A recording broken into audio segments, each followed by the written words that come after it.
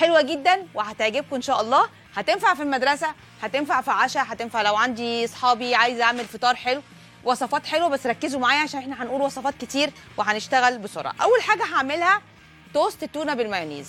إيه وصفة سهلة وحلوة وهتعجبكم إن شاء الله. قبل ما ابتدي أشتغل عايزة أقول حاجة.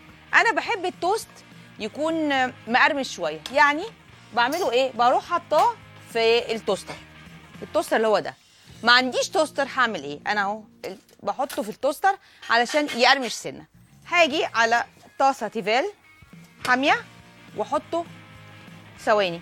لو أنا ما عنديش ال toaster ده هعمله ثواني في الطاسة تيفال. مجرد يمسك بسيط علشان يبقى مقرمش شوية في في الساندوتش.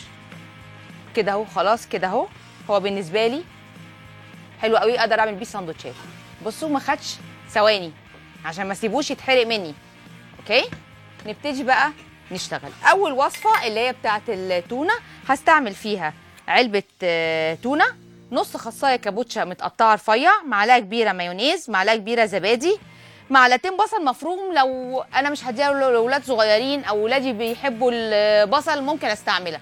لكن ما بيحبوش البصل هشيل البصل لأنه ده اختياري. أول حاجة بصوا أنا أهو محمصة على التوست. زيادة شوية. وصفة التونة دي هي الوحيدة اللي هتلاقوا التوست متحمص فيها زيادة شوية علشان بيبقى طعمه أحلى. هحط ال- الزبادي مع المايونيز مع الخس مع التونة. التونة بكون مصفياها كويس قوي من الزيت بتاعها. آه، مش بس في الوصفة دي يا جماعة التونة لازم زيتها يتصفى في أي وصفة أنا بستعملها. ما بحبش أستعمل الزيت التونة محفوظة فيه. حتى لو أنا بحبها في بالزيت وعايزة أستعمل لها زيت تاني. آه، أحط لها زيت من أول وجديد. بس أخلي ال- الزيت بتاعها ينزل. يعني ما استعملش الزيت بتاعها. أوكي؟ هجيب التوست وأروح حاطة التونة بالمايونيز. لو جربتوها كده أنا عارفة إنكم هتقولي عليها. اهي. وكده اهو. اضغطهم مع بعض وبعدين بالسكينة أروح جاية بالورب واقطعهم. okay؟ ده تونة بالمايونيز. نعمل بقى اللي بعديه علشان الوقت